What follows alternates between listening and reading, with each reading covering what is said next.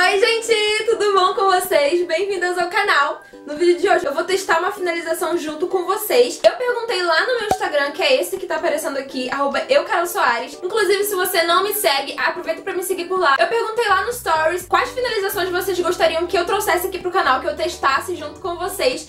E muita gente pediu a finalização da Puka. Eu pesquisei bastante e não vi nenhuma menina assim com cabelo bem parecido com o meu, igual o meu, mesmo tipo, sabe? Bem raro a gente ver essa finalização no cabelo crespo, por isso eu quis trazer também para as meninas crespas já verem se dá certo ou não no nosso tipo de cabelo. Porque também pode não dar certo, né, gente? Então a expectativa sim é boa, mas vamos ver no que vai dar essa finalização. Então se você gosta de vídeo de finalização, já vai deixando seu like aqui embaixo, tá bom? E se você for nova por aqui, caiu de paraquedas, aproveita para se inscrever no canal, para assim todos os meus vídeos serem enviados para vocês. Chega de blá blá blá e vamos ao vídeo!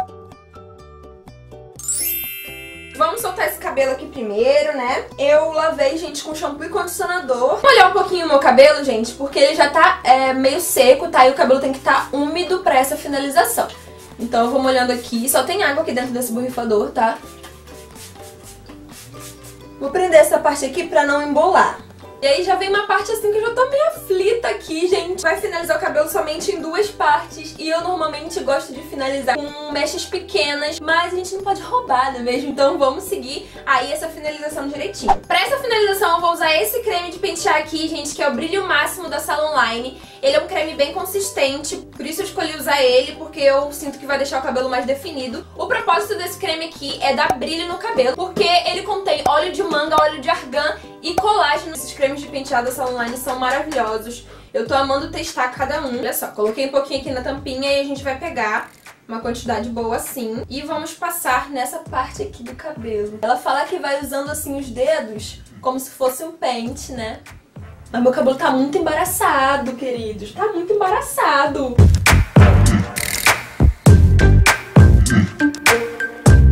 Não tem quantidade de produto certo que ela usa.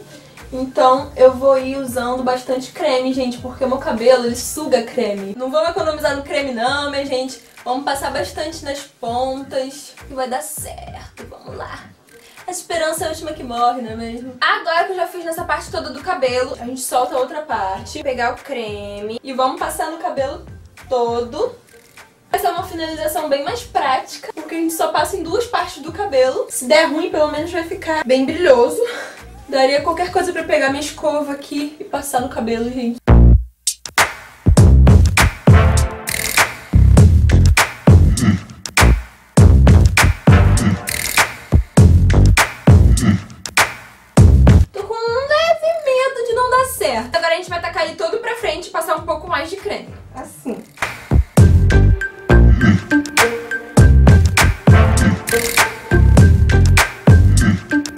meio que sacudindo assim o cabelo em algumas partes. Gente, ele continua embaraçado. Ai, que nervoso! Aí a gente parte no meio de novo.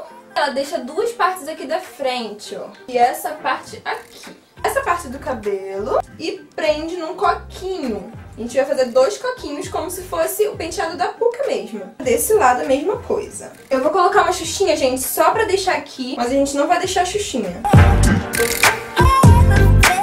Minha mão tá coçando pra não fazer um dedolês nessa franjinha, Mas ela não faz, então... Aí a gente vai soltar aqui. Depois que tiver os dois coquinhos, a gente vai pegar e vai prender com uma xuxinha só, assim. Como se tivesse junto, tá vendo? E fica esse bololô aqui mesmo. Eu não sei explicar o que é. Mas aí vem com um pouquinho mais de creme. Olha o tanto de creme que a gente usa. E coloca assim. Esse aqui não tá muito fechado, né? E aí espera secar, gente. Eu vou esperar uma horinha, tá? E volto pra ver se secou completamente com vocês. E se não secou, a gente vai soltar e esperar secar naturalmente. Música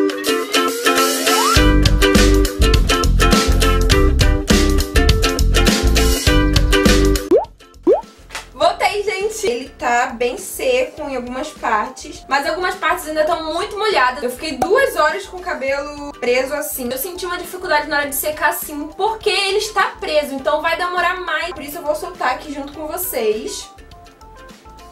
Tá muito molhado ainda, olha só. E aí eu vou esperar ele secar naturalmente e venho mostrar o resultado pra vocês. É, provavelmente vou usar o secador, porque o meu cabelo tem muito fator encolhimento.